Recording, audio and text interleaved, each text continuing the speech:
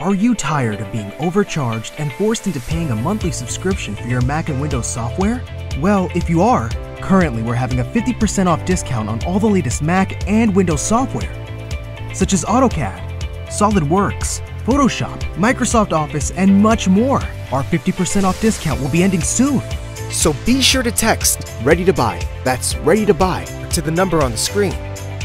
Starting pricing for low end software $100, and starting pricing for high end software $500. We aim to please, so expect 24 7 technical support, the latest premium software, instant software links delivered to your email, and PayPal's buyer's protection guarantee. Anyway, Digga, you know, let's cut the. let's get to the meat and potatoes, girl. You know what's going on. What's the meat? You know what everybody want to talk about. a lot going on. What's the meat and potatoes? Lil Rod Oh, the and the Mr. Diddy. um Diddy said, Your name Little Rod. has he responded? Is that true? Is is your rod really little? Inquiring minds. Why are you making that face? I can't. I can't That's how Diddy looked at him. That's how Diddy looked at him. Um, um, has he responded? Well, I think through lawyers and shit. Has like he that. has he been responding? homie's lying and all of this type of shit. So now, if I ever go on YouTube, I always see these little shorts of Puffy, but I don't know if if they are like in real time responding to what's going on right now, or if they just like uh you know clip ups of of older things. But there's a lot of this last um thing there. There's a, a lot of names thrown in there. I didn't read all. I didn't even begin. It's 73 pages It's long. 73 pages. I don't I didn't even see where to get those actual 73 pages, but I have an article here from the LA Times. Um it says Diddy Love producer Little Rod accuses him and associates of sexual assault, illicit behavior. Producer Rodney Little Rod Jones has filed a bombshell lawsuit against Sean Diddy Combs, accusing the embattled media mogul of sexually harassing and threatening him over more than a year, as well as securing footage of Diddy and several of his associates involved in illicit behavior and alleged sexual assault. Jones, who seeks 30 million, that now see that number right there is a little suspect because that's what Cassie got. Right. Um, and so to go for 30 million, I will say that that's a little flaggish. Um, but we'll get into my show, Fresh Wes. Thank you, sir, and congratulations to you once again, sir, for the honor bestowed upon you in your native land. um, nah, for real. Um, I don't know if you know, but Maestro Fresh Wes just got some like crazy high honor out there in Canada and shit. Um, Oh, nice. yeah. Congrats, my guy. Yeah, and he's always man a supporter of the Godcast, and we love him here, and that's our guy. We appreciate you, my brother. Um, so he's seeking 30 million in federal lawsuit named he named several high profile figures in the entertainment business in the complaint, but only Diddy's son Justin Dior Combs, uh, Universal Music Group chief Lucian Charles Grainge, and former Motown Records chief Ethiopia, whatever that last name is, uh, a studio, and Diddy's chief of staff, Kristina KK Khorram, who they're calling like the Ghislaine Maxwell of the whole fucking operation. Um, Love Records and Combs Enterprises, they're named as defendants. Um, And what, what's crazy is all of these other names are getting tossed in the situation, but they are not. They're they're in the. They're in this uh lawsuit for only for, because like, Diddy said that he fucked them all. That's um, why. I well, I didn't I no I saw um uh they were at a party of his over here doing something else or I I watched a tape of this one and that and one. apparently Diddy was bragging to this guy that he had sex with several of these people. Let me just let me just finish, you know, let me just read oh go this ahead. article. You know what I mean? Because they go into little things here, and then we can, you know what I mean? It says the Chicago-born producer who produced nine songs on Diddy's 2023 The Love album, Off the Grid, filed the lawsuit Tuesday in U- U.S. District Court for the Southern District of New York. In the 75 page complaint obtained Tuesday by the Times, his attorney, Tyrone A. Blackburn, said that Jones' life has been detrimentally impacted ever since. He agreed to produce the album in August 2022. Jones alleged that he was under an implied work for hire agreement with Combs and that he lived with the recording giant for months at a time in Combs' homes in Los Angeles, New York City, and Miami, as well as several weeks on a yacht rented by Combs in the U.S. Virgin Islands. Stop right there. Like, have you ever, in all the time that you've been making albums, I'm just maybe I'm bugging. Have you ever like had to go live with anybody to make a fucking album? Huh? Digga, I'm asking you. no no I, am like i'm trying no i'm i'm thinking of instances no live with them live Nigga, with them no weirdo shit. now Like, kanye okay get now me my own fucking crib. Now, like, I, you know, Kanye set up something in wyoming so so you and I'm right sure he had guest quarters or something like that. Like, right like- that but but that that's what i mean like i it's it doesn't it sounds crazy in this lawsuit but there are plenty of producers that go to places that's their creative space and when you record with them when you're working with them you got to go there like there was a period where kanye was For recording in hawaii for So- a year. so he I'm is- not living with no man. You see, like if I know we got to be out there for a year, I get me a get me a crib, rent me a hotel or some shit. I'm not staying at your crib with you. We two grown men. You see, but this is a nigga that lived with fucking now lived with with with, with Andre Harrell. Wait, now hang on. Now, now, now, hang on. Ha- hang on. Because if you're somebody like Puffy, you assume Puffy has a mansion with plenty of space to accommodate you. You're not. Nah, see, that's the nah. See, that's when you know when a nigga invites you into their crib, like that's almost so they can control you. Like when it's time to do business and all of that, when you're on somebody else's turf, they have the upper hand. That's why if you're doing a, a deal, don't go to their office. okay. Get them to yours or Okay, go to a, new, okay, a okay. So let me ask you this: Take Puffy out of it. If it was, I'm not going to live with nobody. Ain't nobody that you can say that I'm be like, yeah, I'll go live with that motherfucker for a if year. okay, listen. So, okay, 50, 50 Cent had 50 Cent had uh had Mike Tyson's um compound. Well, he he pur- Mhm. Mike Mike Tyson sold it. He purchased it. This is this was a G Unit compound in Connecticut. He had in-house producers recording for G Unit. They were out their output was at an all-time high. Every 3 weeks it was a new G Unit member. These in-house producers are coming to stay at the compound to work.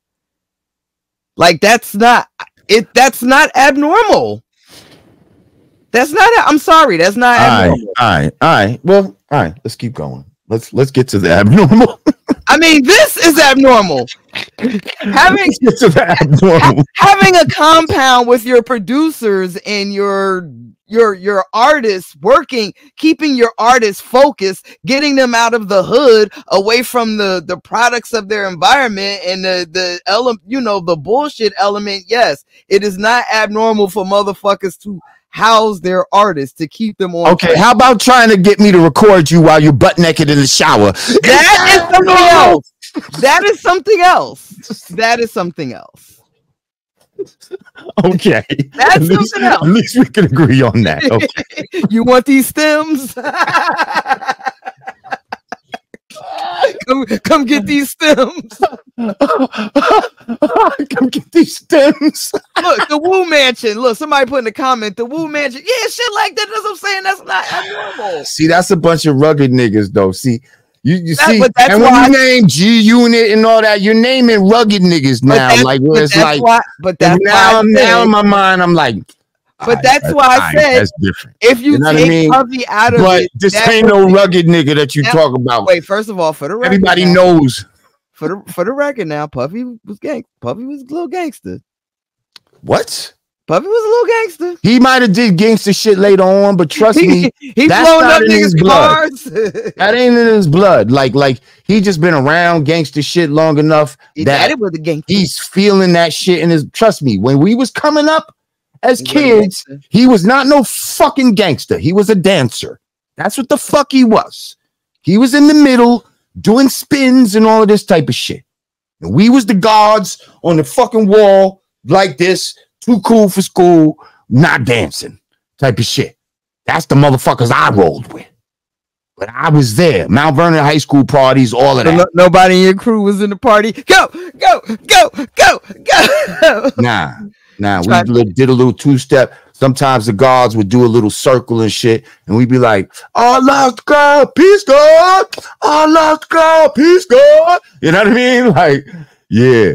But we wasn't all about all that dancing shit. Like, you know what I mean? so the moral And the if we did is- dance, a girl is like against you, and we against the wall type of shit. Like, you know what I mean? Like, anyway, I digress. Um. okay, but just let the record reflect that Okay. it- okay. Maybe I'm. Maybe you, I'm. you, I'm. you I'm, can I'm be a little artist hard or on. producer and li- and live in a compound. Okay, okay. We'll let that one go. We'll let that one go. Um throughout his time with Mr. Combs, Mr. Jones witnessed, experienced, and endured many things that went far beyond his role as a producer on the Love album, the complaint said, and that Combs required Jones to record him constantly. I want you to record to me constantly. Um the multi-instrumentalist described himself as a heterosexual Christian man, alleged that he was the victim of constant, unsolicited, and unauthorized groping and touching of his anus by Mr. Combs. Oh, you grab ass. Um, and was uncomfortable with Mr. Combs's advances expressing his complaints to Diddy's chief of staff, who allegedly told him, You know, Sean will be Sean. In response, Blackburn described Khorram as the Ghislaine Maxwell to Sean Combs' Jeffrey Epstein. He also alleged that Combs tried to groom him into engaging in, into engaging in sex with fellow producer Stephen Aaron Jordan, Stevie J, and promised to make sure that Mr. Jones wins Producer of the Year at the Grammys if he enga- engaged in homosexuality. Whoa. He also provided uh, Jones with alleged footage of people involved in sexual activity at Combs' home, which Jones believed was procured through hidden cameras throughout Diddy's properties. Mr. Combs possesses compromising footage of every person that he's that uh, has attended his freak offs parties and his house parties. The complaint said, upon information and belief, due to this treasure trove of evidence he has in his possession, Mr. Combs believes that he is above the law and is untouchable. Jones also alleged that he was sexually assaulted. Ah, Now, this one right here, I got a little problem with this, but here we go. Jones also alleged that he was sexually assaulted by a cousin or assistant of rapper Yung Miami, who has dated Diddy, was sexually harassed and assaulted by Oscar winner Cuba Gooding Jr. and obtained footage of rapper and R&B singer whose names have been redacted from the complaint consorting with underage girls and sex workers. On several occasions, Mr. Combs took Mr. Jones' cell phone and began recording himself. As, as a result, Mr. Jones has secured hundreds of hours of footage and audio recordings of Mr. Combs, his staff, and his guests engaging in serious illegal activity, the complaint said, which includes screenshots of several of the incidents mentioned in the complaint. The producer said that he secured irrefutable evidence of illicit activity, including Combs providing laced alcohol beverages to minors and sex workers at his homes, and the rapper's acquisition, use, and distribution and distribution of ecstasy, cocaine, GHB, ketamine, marijuana, and mushrooms, as well as displaying and distribution of unregistered illegal firearms. That's a mouthful. Pause. I don't play the pause game. You know, Now- fuck all that. now, I my only my only pushback to that is how long are you going to stay at said compound? Right, while all this bullshit going on. Exactly. That Well- that would give me that would But- have me side eyeing this gentleman. But again, here we go. I said this uh, before you got here earlier. Money is the thing that makes people try to figure you know, like for the money, we gonna try to figure this shit out. Like, like, like people will if there's a big uh, amount of money involved, they'll let a lot of shit slide. And that's the fucking problem. I'm telling you. I'm telling you, like, how, like how old is uh is there an age? How how old is this guy? Um, he's, you know, I'm not sure. My guess is he's in his 30s.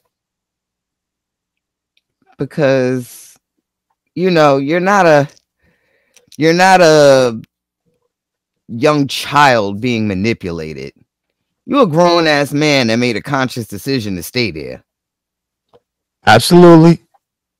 Um, right. We can get to all of that. That still doesn't mean that this shit didn't go on. Like, you understand what I'm saying? Like, like he might have put up with the grab ass more way longer than anybody else probably would have, you know what I mean? But at the same time, and we question why would you stay so long? But that doesn't mean that the grab ass wasn't happening.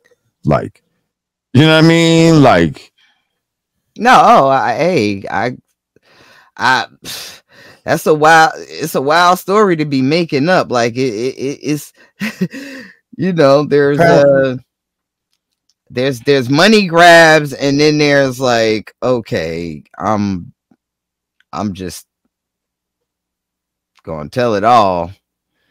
Apparently there was a shooting at a studio and either puffy or his son shot this dude and he was forced to like tell the police that you know they had nothing to do with it type of shit and that the guy got shot by somebody outside like on a drive-by. Um well that's normal nigga shit. Like that that that happens.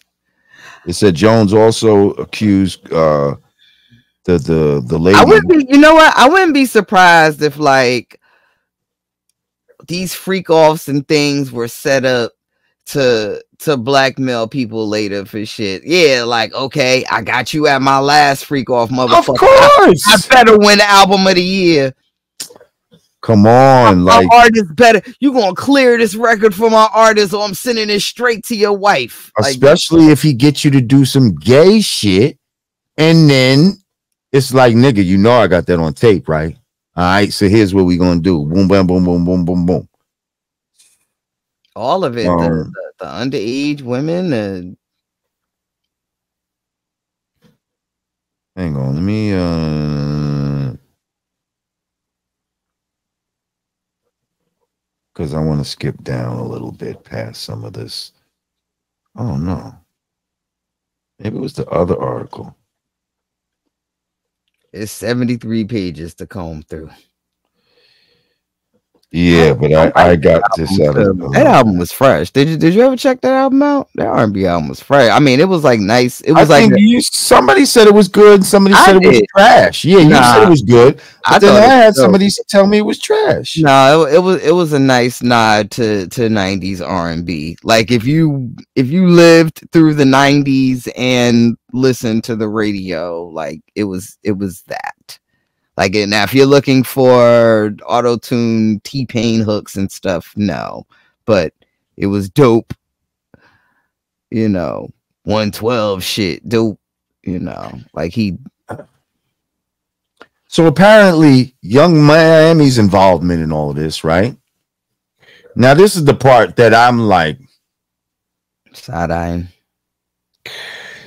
says the cousin of Diddy's ex girlfriend is implicated in the lawsuit. Little Rod claims that she was present during the assault and that Diddy orchestrated the incident. The court alleges that Yung Miami's cousin attempted to gauge in sexual activity with Little Rod in the presence of Diddy and his staff. It says Mr. Combs was intoxicated and offered cocaine to Mr. Jones. Mr. Jones rejected him and proceeded to walk to the bathroom. The document read um, While using the bathroom, Yung Miami's cousin burst into the bathroom and began groping Mr. Jones. Mr. Jones uh, believes that Mr. Combs sent her in there to sexually assault Mr. Jones. As she entered the bathroom, she dropped to her knees and began performing oral sex on Mr. Jones' exposed penis. Mr. Jones pushed her away and ex- um and exited the bathroom.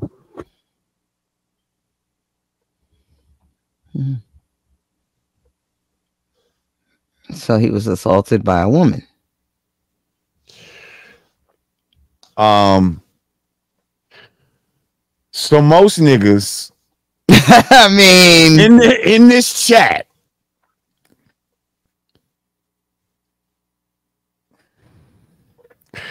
are probably gonna have a hard time wrapping their brain around. away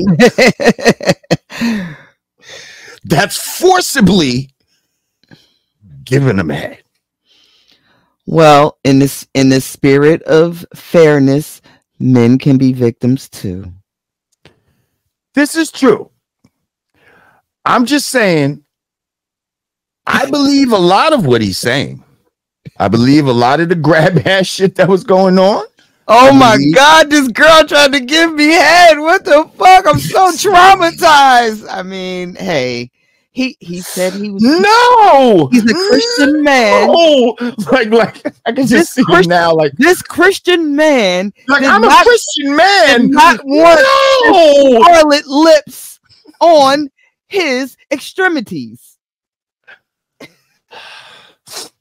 Young lady. No, I no, no. whereas, whereas most niggas in this chat will be like, no, uh, no, no, oh no. So now, given everything, now given everything you've heard, Now, unless you was in a committed relationship, then you might be like, hey, hey, he was in a committed relationship with God. and and even in a committed relationship, I feel like a nigga.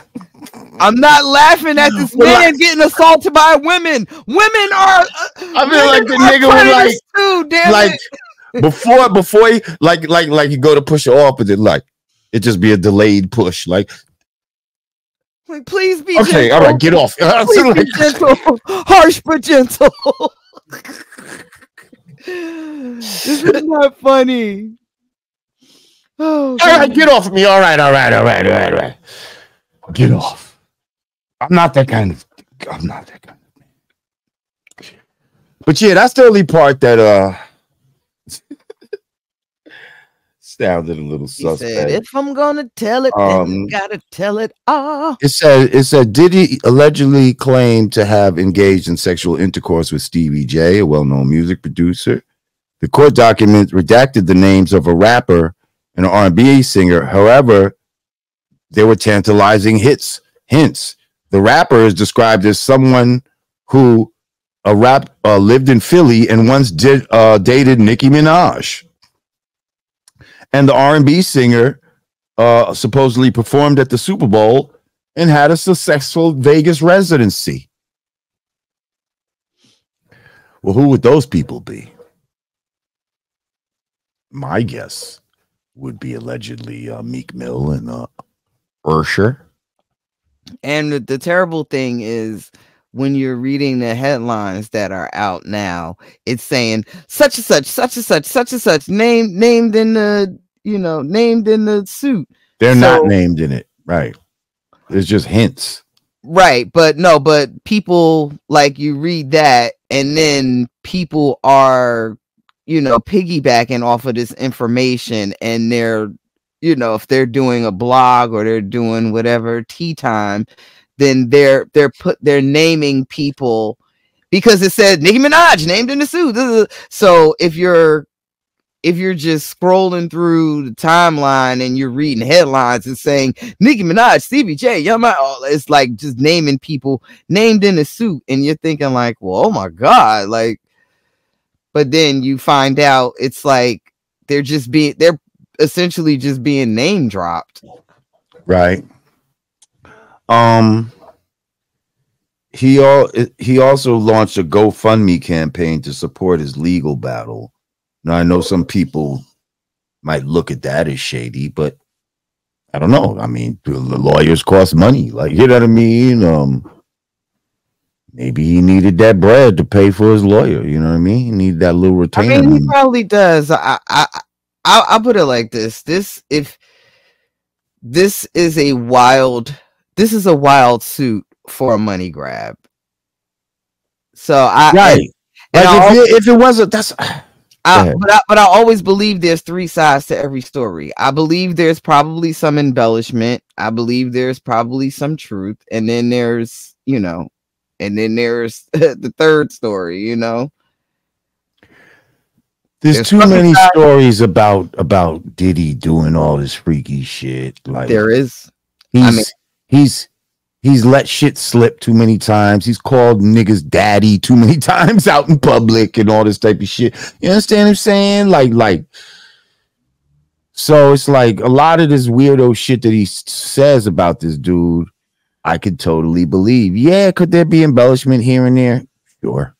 You know what I mean? Like, but at the end of the day, when you start telling stories that make you look bad too, like, you know what I mean? Like, you right. look bad for for getting your ass grabbed and letting that allowing that shit to happen. Like, you know what I mean? Like, told right. nigga, ain't nobody, nigga, you f- grab my ass, you going to the upper room. Like, ain't no fucking second time and third time to be doing no shit. The first time you grab my ass, and to know. be perfect, you know, and just you know, and just for clarity, we're not victim shaming because I, I never want to, you know, I never want to put the onus on the victim like if you were assaulted then that's that's uh that's that's a that's a terrible thing. And listen you, i mean yes it is. You know what i mean? But certain assault you know what i mean? Like you can respond to it. Like like absolutely if you choose not to that just absolutely. shows your your particular character. Like i don't mean uh, whether it's shaming or not. I don't know. That's on you. I probably would feel shameful if I didn't respond, though. I don't. Me, I don't personally. I yeah, feel like, shameful.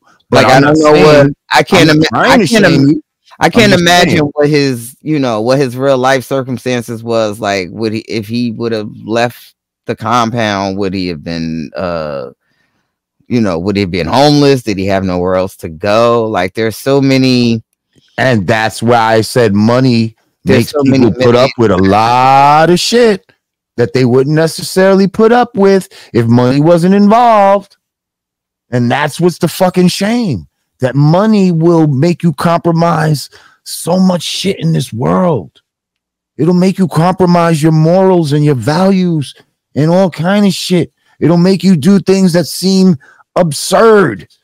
Well, why would he stay that long? Because exactly because if he left, the nigga was gonna be homeless, da da da. He felt like this was finally his big break. He's been trying to do shit, and that's why they pick people like that. That's why they'll pick a nigga like you. Why you think he picked a, a no? We never heard a Little Rod and and and Puffy picks you to do, uh, produce almost his whole album. He fucking knew that you was in a certain position, probably, and all of that. Yeah, I'm gonna get a nigga like that. You know what I mean? Like these niggas be playing chess. You out here just trying to get on the board. Like, you know what I mean? Like mm-hmm. these motherfuckers be scheming and plotting. And, you know what I mean? Mm-hmm. So yeah, it probably was that type of situation. Like, yo, if I, I, I this is my big break. Without this, I'm gonna have nothing. Like, right. we ain't never heard of Little Rod. He's probably talented as a motherfucker. You know what I mean? So yeah, it's it's but but still, I'd rather be homeless and all of that type of shit. I just don't get my I ass just, grabbed. I just don't understand how like we, if, dude. If anybody is if anybody is familiar with like R. Kelly history, like if you was out here, if you was out here being nasty, man, you had to like have watched how R. Kelly shit played out and said to you, and and you had to at some point have thought to yourself, I, I need to chill. But nah, they probably like some niggas like, well, I'm glad uh I'm glad. Uh, I'm glad it's him. You know, and maybe they get scared in the moment, but then once that shit dies down, motherfuckers go right back to their shit. You know what I mean? And it, it's you know what else is crazy too? It's crazy how you can have a 20, 30, 40 year legacy that just could just be eradicated in a day. Like I feel like as soon as I feel like as soon as you know Cassie's suit went public, like it was just like, uh it's over. Well, isn't that what happened in the Me Too movement? Once somebody went public, it started and made a fucking snowball of all kind of Me Too motherfuckers coming out, and y'all wanted to believe every goddamn one of them. oh, we got to start believing our women and stop. that. That's what y'all said. Like, and yeah. this is this is me too. It, this is me too. This is beyond this is me too. Shit, yeah. This is this is this is me three. This is beyond me too. I, I think, uh, uh, uh, but a lot of the people that did get me tooed had a history of it. There's been rumblings for years and decades. Well, there's been rumblings for years about Puffy. I mean, this is what I'm saying. There's yeah. been, you, you, know what I mean. But then there were there are some people that's different from okay, we had a bad date and you just misread my signals, bitch. I wasn't jacking you like that. That's different from you are there is a history rumor mill about you. you funny, truly Zambian. He said, This is all conspiracy to bring the black man down. Puff Daddy Pop was gonna buy CBS. What up, truly Zambian? Uh, first of all, I don't know if you missed it, but I just want to let you know that um, I did not go to Egypt. Um, not fully, you know.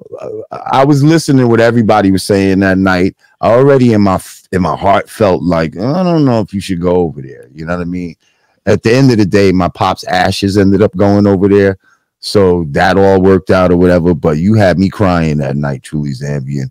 He was talking shit about just how uh Egypt be kind of anti-black, like you know what I mean? Like these motherfuckers be on some pro-Arab, anti-black shit, even though that we're the ones that built all that shit over there. Um, and he just didn't like my man that I brought on the show that was promoting the trip to go to Egypt and all of this type of shit. And a lot of people was like, fuck that, I wouldn't go, Lord. Like, you know what I mean? And I just wanted to shout out to all the people that was kind of telling me not to go. And I y'all, y'all, y'all a little help me swim make my decision too. You know what I mean? Like who isn't anti-black? Everybody's yeah, black. Yeah.